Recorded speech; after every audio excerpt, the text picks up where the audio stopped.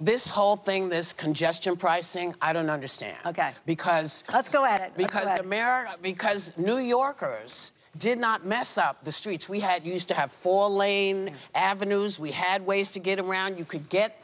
It might have taken a long time because we have big trucks, but you could get around. The idea of having to pay. I'm a lifelong New Yorker. The idea of having to pay to go from point A to point B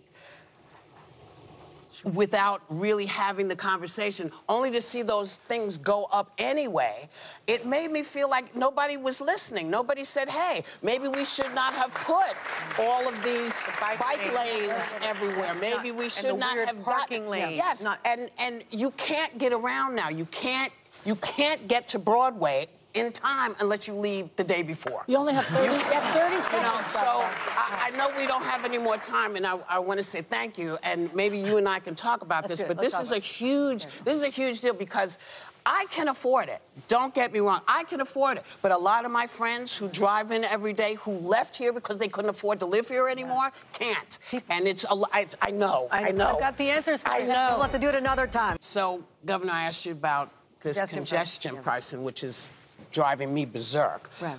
What is the point? Because New Yorkers didn't mess up the, the streets of New York. We have bike lanes in places that we're not prepared for. We have trucks that are too big for what the for what the city says it wants. So how do we make the trucks smaller? How do we make it not another money grab? Because that's what it feels like.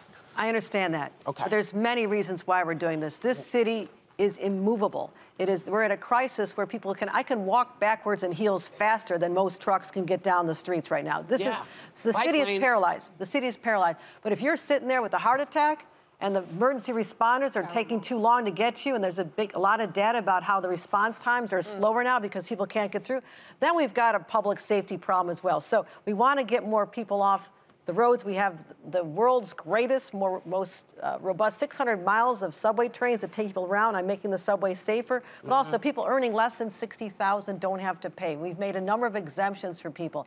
People coming in from New Jersey, you know that 80% of people coming in from New Jersey to work in the central business district, they take public transit. This money is going to be reinvested into making sure that But our trains are better. But the MTA keeps. If I did as poor a job, this is just my opinion, Okay. as I feel that the MTA has sort of done over the years, because you keep saying, not you, but they keep making it more expensive to get on the on the train. It's more expensive to get on the bus. It's more expensive to do everything.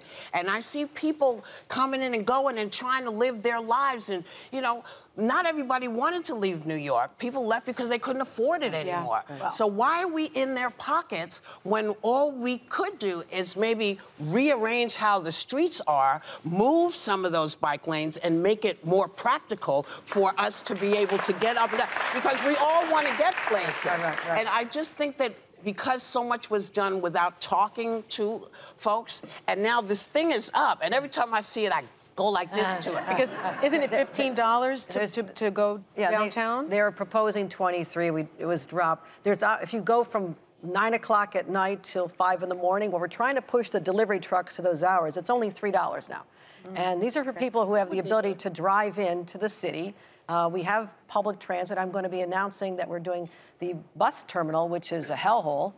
You've been over Yeah, there, yeah. hellhole. I'm going to redo that and make it beautiful because most people coming in from New Jersey on buses come through there. I'm trying to. I want to do Penn Station. Penn, Penn Station looks like the seven levels of hell when you're on it, Yeah. and I'm Yeah. working hard to build it up. They hate when I say that, by the way. But it's it's. I'm trying to focus on safety, security, making our streets flow, making our city functional, making sure people are safe. And I understand the complaints about it. But people making less than 60,000 do not have to pay. We're very That's sensitive important. to low-income people. We have cheaper fares on the subways for low-income people.